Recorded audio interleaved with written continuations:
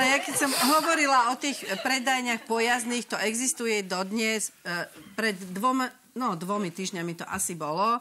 Vozia po Devinskej Novej Vsi chodí taká dodávka a vozia zemiaky. Takí tmavší spolupčania vozia a predávajú zemiaky. Zaz, naozaj zazvonia pri každej bráne, Devinčania budú vedieť. Otvorila som bránu, stáli tam teda dvaja takíto, takíto spolupčania naši a že či nechcem tie zemiaky. Ja hovorím, nie, ďakujem, ja ne, nemám kde uskladniť ako v recepty. No ale že tieto sú teda veľmi dobré a tak. A dali mi do ruky zemiak, rozkrojili ho na poli a ukázali mi teda, že aký je zdravý, žltučky, ako sa rýchlo uvarí, rýchlejšie ako iné zem.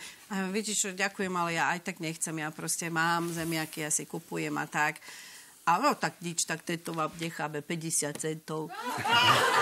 A ja hovorím, že prepáčte, ako to, tento jeden zemiak, čo ste mi dali, stojí 50 centov. Že to je trošku veľa, nie? Aj mi smiešne bolo. Ale on tak úplne vážne povedal, joj, mladá pani, ale není zebák ako zebák, však vidíte. S týmto pozbudivým heslom sa s vami lúčim. Nedý zebák ako zebák kebyže ná, náhodou prišli aj k vám. Prajeme vám príjemný zvyšok večera a uvidíme sa, milí priatelia, tento raz až o dva týždne. Dovtedy sa